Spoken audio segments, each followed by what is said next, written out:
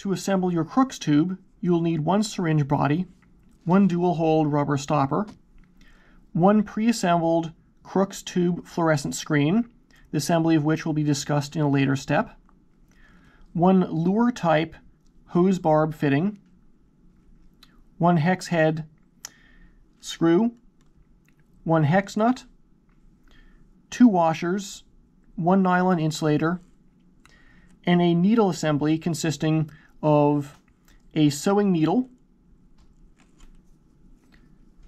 as well as a Luer lock plug, shown in both assembled and non-assembled configurations. First, to construct the plug assembly, the Luer lock hose bar barb is pressed into one of the two openings. The hex head screw is inserted through the other opening. On the small end of the plug, one washer is placed over the screw, followed by a nylon insulator, followed by a second washer, and finally by the hex nut. The nut should be tightened finger tight so that the end of the screw is approximately flush with the nut.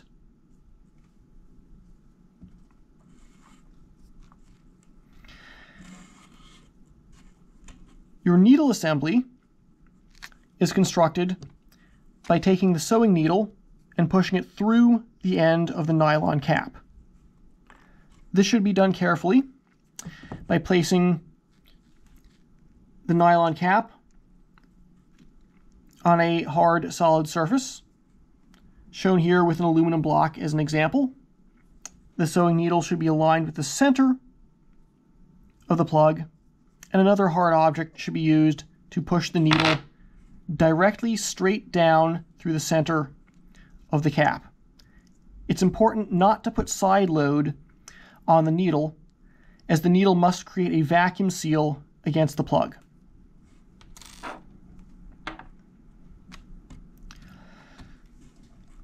Once assembled, the screen is inserted into the Crookes tube. The plug is fo inserted followed on the end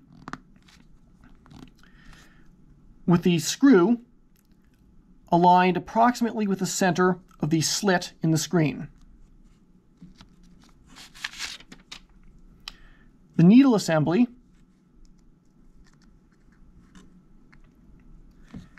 is then placed in the tip of the syringe. This completes the assembly of the Crookes tube.